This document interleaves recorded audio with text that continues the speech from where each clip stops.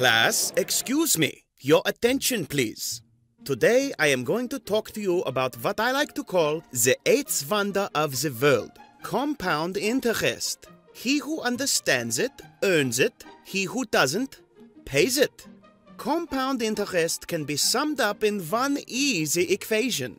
When the principal investment amount is multiplied by 1 plus the annual interest rate divided by the number of times the interest is compounded per year, then taken to the power of the number of times the interest is compounded per year times the number of years the money is invested equals the future value of the investment, including interest. Any questions?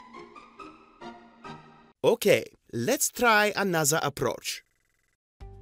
How much money do you think you spend buying coffee every week? $5? $10? You've probably been told before that a much better option would be to save that money instead.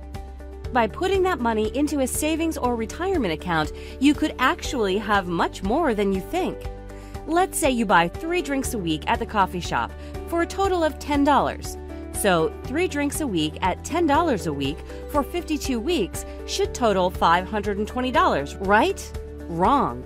And what about after 10 years? Three drinks a week at $10 a week for 520 weeks should total $5,200, right?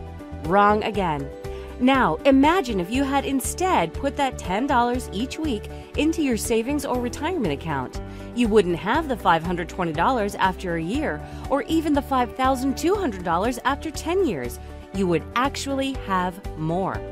How does this happen? Through the wonder of compound interest. When you take money and put it into a savings or retirement account, it automatically earns interest. What you might not know is that your interest is also earning interest and will continue to do so. This addition of interest to your initial amount is called compounding. This means that after one year of saving your coffee money, you could have $536 and after 10 years, $7,120. Now, think about what would happen if you started putting $10 a week aside today and it had 30 years to grow, while you are only putting $15,600 aside. With compound interest, you could actually have $43,709. That's a lot of coffee.